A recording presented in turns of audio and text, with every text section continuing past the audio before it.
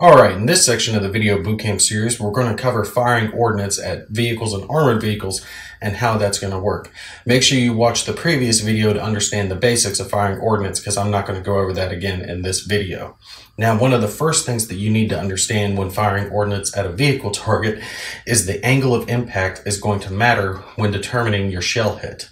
So let's look at this Sherman tank here as an example. You can see the front of the tank as delineated by the red arrow at the front, and it's very simple. The two hexes bisected by this red arrow are the front, considered the front armor, the side two hexes are considered the side armor and the rear two hexes are considered the rear armor. Now, when you look at the bottom left counter, uh, the counter, you see three rows of numbers, the top row being the front armor, middle row being the middle armor, obviously, bottom row being the rear armor. Now, if the vehicle has a turret like this Sherman does, the, uh, it's separated by a slash and the first set of numbers will be the hull armor and the second set of numbers will be the turret armor. You're going to determine which one of those is hit by the attacker's attack roll. When they're rolling to hit, if it is greater than 2 and even, so 4, 6, 8, 10, or 12, then it is considered to have hit the turret. Any other number rolled by the attacker will be considered against the hull armor itself. Also, when you're attacking with ordnance, if you hit an unarmored vehicle like this Jeep here, which you can tell is unarmored because it has stars for where its armor numbers would be, then it is destroyed outright if it is hit and simply replaced with a wreck marker. Now for the rest of ordnance attacks, let's say our Tiger 1 is firing at this Sherman tank here, and we can tell by the angle of attack that it's passing through our front hex. And let's say he rolls to hit and he hits the hull armor. So five for our defenders here.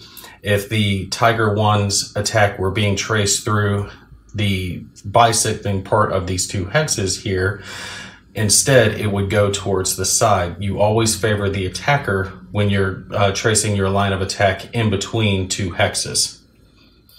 At that point, you're going to take and roll 1d6 for the attacker and 1d6 for the defender. And for the attacker, you will add their penetration value at whatever range that they're attacking. We can see three hexes away. At range seven hexes or under, they're going to have a penetration value of eight. So the Tiger 1 will roll 1d6 and add eight. Let's say they hit the front hull armor of our Sherman, which means a five for their armor. So they're going to roll a 1d6 and add 5 to it, and then they're going to compare the results.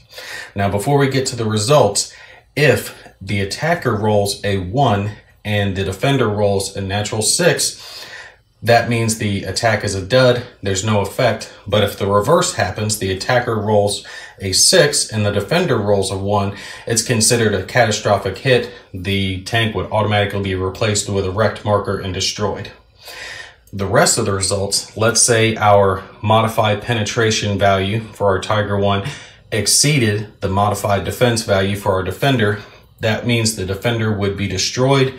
They would be replaced with a wrecked marker at that point, and you would roll 1d6, and on the result of a 1, you would take a good order crew marker and place it here with the wrecked marker under a moved marker. It means the crew escaped the, the tank being destroyed. Now, if their rolls equaled, so the modified penetration roll equaled our modified defense roll, at that point, the defender would take a morale check. If they fail, then the tank would be abandoned and a shaken crew marker would be placed. If they passed, the tank would simply become shaken. Now, if the attacker's roll is less than the defender's roll, they also take a morale check, but this time they would get to subtract the difference between the two rolls from their morale check, making it easier to pass. If they fail, then the uh, tank will become shaken, and if they pass, then there will be no effect. However, if the tank were already shaken when they were making that attempt and it becomes shaken again, then the tank is abandoned as normal.